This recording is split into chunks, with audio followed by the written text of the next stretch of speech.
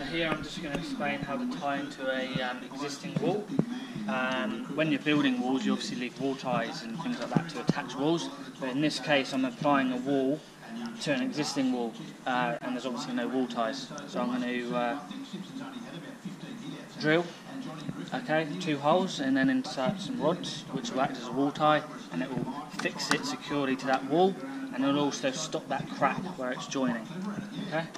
So here, just what I've done here to make sure I don't go too deep and go through the wall is just marked 50 mil because the brick's 90. You want to go at least 50 mil into that brick, okay, and then make sure it doesn't go any deeper than that. Okay.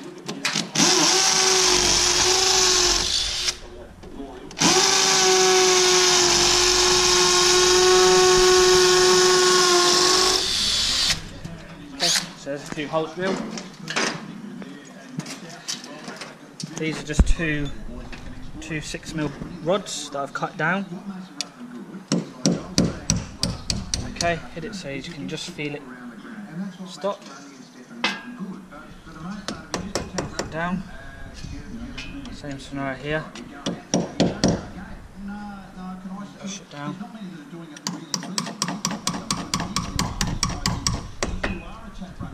And there we go. So you'll put the mud on top and then that'll be fixed to this wall and on top of there. So